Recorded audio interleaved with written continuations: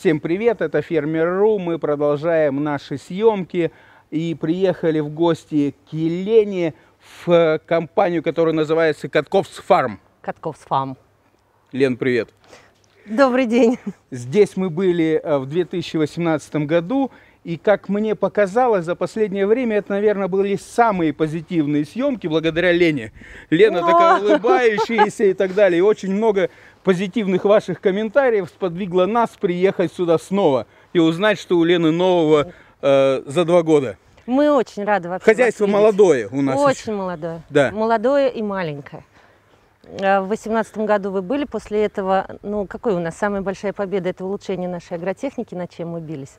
А Плюс мы еще все-таки купили те 10 гектаров, про которые я говорила никогда, ни в жизни, не буду смотреть. Вот там они мы их рядом, да. купили, да. еще 10. Мы посадили в этом году землянику, ну, почти два там. А вот. Два ну, гектара. Да, Мгм. да. Экспериментируем с голубикой. Мы все-таки смотрим, присматриваемся к ней, нужно ее в промышленном объеме сажать или нет. Ну, я стала бабушкой. Поздравляю, это, наверное, самое большое достижение за последние два года. Да?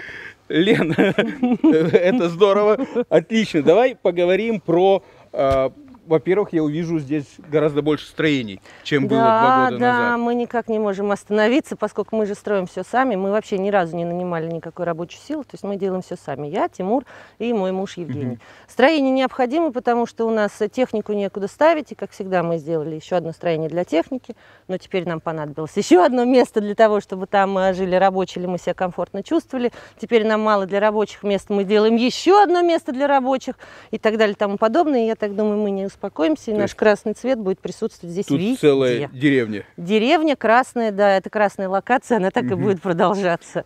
Кстати говоря, э, я не нашел в Яндексе э, локацию. Да, вот это, наверное, наш косяк, и мы То есть это это исправим прямо И- сегодня. Исправить надо обязательно, Исправим чтобы сегодня. написать Катковск фарм или как-нибудь Нет, так, ну чтобы в это... ГИСе есть все это, в ГИСе все это Мгм. есть, два ГИС, да, или как это Ду- правильно? Да, Ну, да. дубль ГИС, да. Да, там все это есть. Вот. А вот э, просто так вот, как бы надо поставить. Да, надо плакат. обязательно, потому что вот мы сейчас кому не ехали, у, у всех э, Да, надо. локации Все это есть. мы сделаем. Обязательно. Лена, значит, э, взяли 10 гектар. Э, там Сейчас начали землянику. Сейчас мы еще будем осенью там посадим гектар малины. Еще немножечко расширимся, хоть я и говорю, Мгм. что мы не будем расширяться, но мы расширимся, ну, совсем чуть-чуть. Вот, и мы думаем все-таки еще про голубику, думаем. мгм, Думаем, будем мы вот это делать на эти 10 промышленную, гектарах, да. Ну, во-первых, под землянику в любом случае нам нужен запас земли, потому что ее Севооборот, подсаживать каждый ну да, год, да, понятно. через три года она убирается, соответственно, по-любому нам нужно. По э, малине все так же остается, ремонтантные. Ремонтантное ничего мы так и не нашли заменить этот вкус. Мы работаем, работаем, работаем над агротехникой, добились, как мне кажется, прям очень хороших результатов.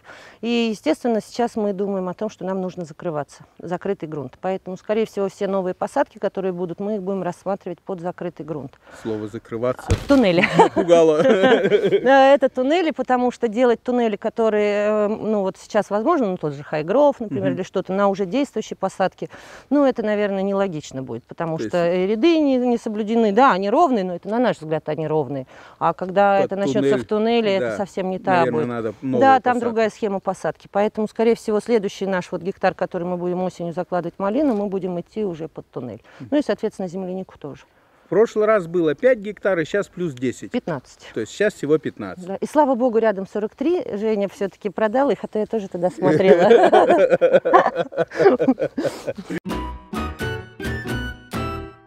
Лена, расскажи, пожалуйста, э, со своим, скажем так, молодым, но уже опытом, э, есть смысл впариваться без агронома в это дело? Я считаю, что вообще это бесполезно.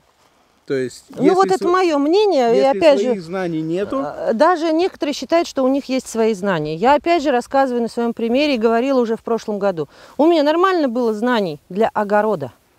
Для огорода. Когда я влезла в промышленную плантацию, это ничего. Это вообще все по-разному. конечно, то есть это шесть не так. э, Сравнивать.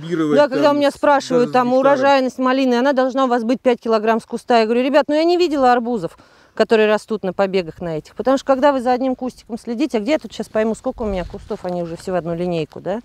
Это немножко другое. Это совсем другое. Здесь, естественно, случаются вещи, когда ты не можешь уделить чему-то внимание, как у меня произошло в этом году. Чуть добавились эти полтора гектара, меньше моего внимания получила малина, да, пошли какие-то неувязки, к которым я не была готова, потому что я думала, что у меня уже все схвачено, я все умею, я все знаю, ну, практически все.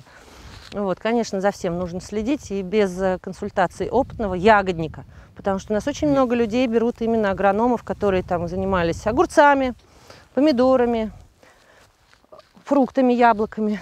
Мгм. А потом То это начинают, другое. это, да, потом начинают разочаровываться, потому что это другое. Даже препараты одни и те же, которые действуют там от болезни или от вредителей, на яблоках показывают себя так, а на землянике, там, на клубнике, на малине их вообще можно не использовать или нельзя использовать, потому что лист другой и так далее. Вот Я вот, бы не мои. рекомендовала это делать. В первый год вы можете все нормально получить. И у вас вырастут крылья и появится корона, как у меня была раньше. А на второй год эта корона сшибается прямо очень-очень-очень. То есть, если вы уже вложились в землю, в каплю, в рассаду и Ну, так капля далее, это самые маленькие Да. расходы, которые есть. ну, рассада, Рассада, там, посадка ее, да, подготовка почвы, то, да. то вложитесь в агронома грамотного. Обязательно.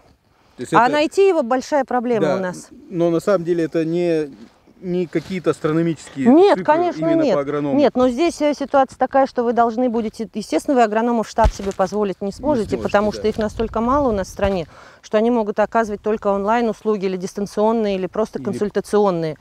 А А, привозить? э, Большая удача, если согласится агроном приехать и посетить. Это тоже очень хорошо несколько раз за сезон. Поэтому, если вы сами готовы отслеживать и мониторить всю ситуацию по температуре почвы, воздуха, по листьям, фотографии отсылать и так далее, то тогда может получиться результат. Все остальное это будет баловство. Вот Баловство. так вот, друзья мои. Ну, это мое мнение. Я с тобой полностью согласен.